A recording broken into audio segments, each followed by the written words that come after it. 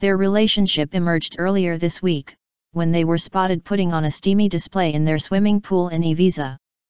But according to new claims, Rihanna's romance with Hassan Jameel is what caused her so-called feud with former pal Naomi Campbell. The Sun reports that the supermodel, who is thought to have dated the Saudi businessman last year, is disgruntled the singer, 29, and Hassan have fallen so hard, as she hates feeling second best.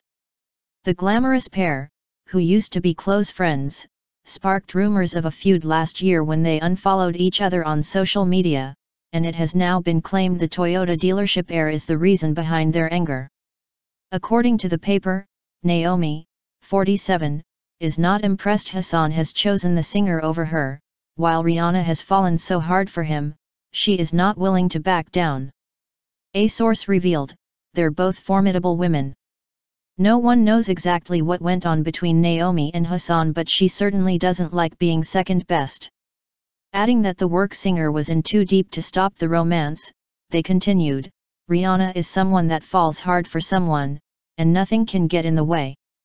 Naomi's romance with Hassan never confirmed, but the pair were pictured looking cozy in July last year, when they attended the British Summertime Festival together in London. Mail Online has contacted representatives of both Rihanna and Naomi for comment. Their feud reportedly began in 2015, when New York Post's page 6 claimed Naomi insulted the singer at a nightclub in Paris, resulting in physical fight with model Cara Delevingne. However, Naomi later denied this on Twitter, and her representatives told Mail Online at the time, no fight took place between Naomi Campbell and Cara Delevingne at Paris Club Castel.